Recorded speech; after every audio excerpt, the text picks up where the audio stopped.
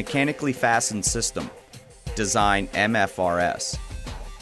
Mechanically fastened roofing systems provide a lightweight and easy to maintain roofing system. This system is able to accommodate irregular roof conditions on a variety of roof decks. SureTough reinforced EPDM membranes offer building owners additional peace of mind with their increased durability and available puncture warranties. In a mechanically fastened roofing system, the insulation is mechanically fastened to the roof structure with fastening plates and appropriate fasteners. Then the membrane is also mechanically fastened to the roof structure using fastening plates or fastening bars and the appropriate fasteners. This system uses SureTough reinforced EPDM membrane. The mechanically fastened roofing system is able to accommodate roof slopes up to 18 and 12 and can be installed on buildings up to 75 feet in height or higher with Carlisle approval. All Carlisle roofing systems are available with a standard 55 mile per hour wind speed warranty. The mechanically fastened roofing system has an optional increased wind speed warranty up to 100 miles per hour. The mechanically fastened roofing system begins with the installation of an approved substrate. Insulation is affixed to the roof deck by using Carlisle plates and fasteners. When fastening insulation, follow the appropriate Carlisle specification. Only install the amount of insulation that can be covered by membrane in the same day.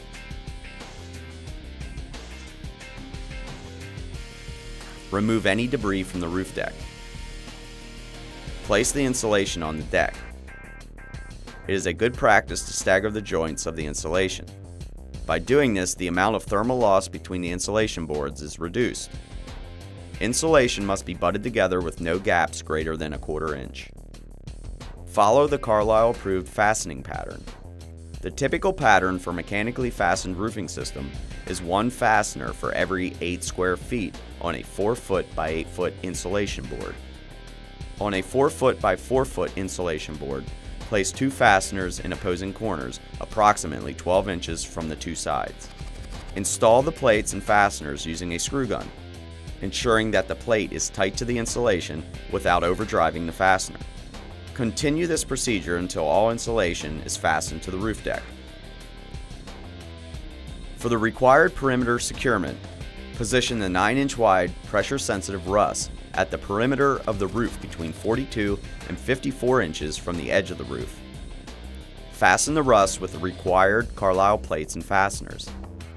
These plates are positioned in the center of the strip and fastened either 6 or 12 inches on center.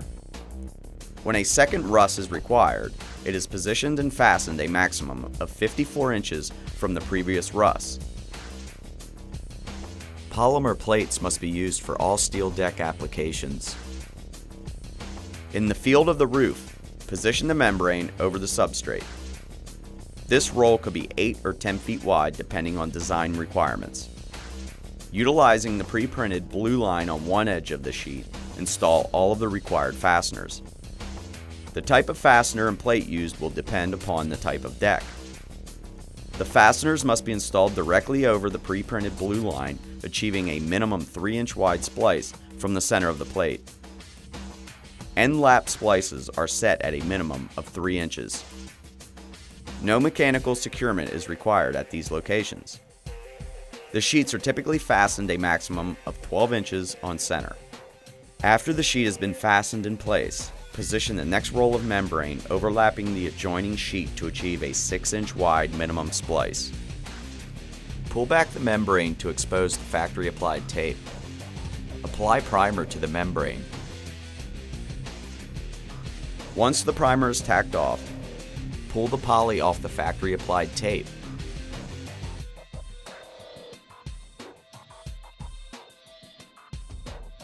and roll the membrane at the seam area. Complete all splices following standard splicing procedures. There are three details which require additional membrane securement. The pre-molded pipe seal, the field fabricated pipe seal, and the pressure sensitive pourable sealer pockets. These three details require the use of a 2 inch seam fastening plate located no more than 12 inches from the detail. Round penetrations less than 6 inches in diameter only require 4 fasteners and plates. For pipes over 6 inches in diameter, seam fastening plates need to be placed 12 inches away and 12 inches on center around the penetration. Secure the 2 inch seam fastening plate to the substrate.